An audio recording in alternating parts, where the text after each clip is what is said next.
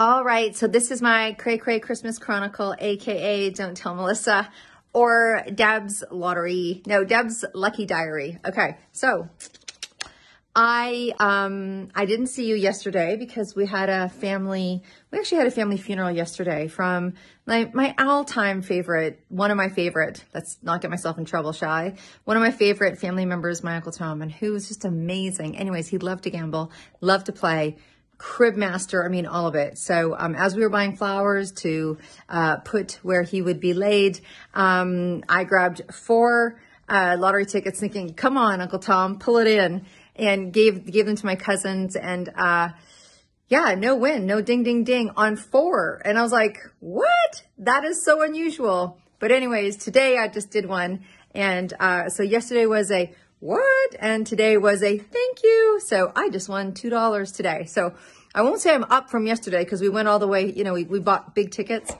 Um, but um, I am definitely going to go um, buy a ticket in his name and let's see if he can make some magic happen from the other side, shall he?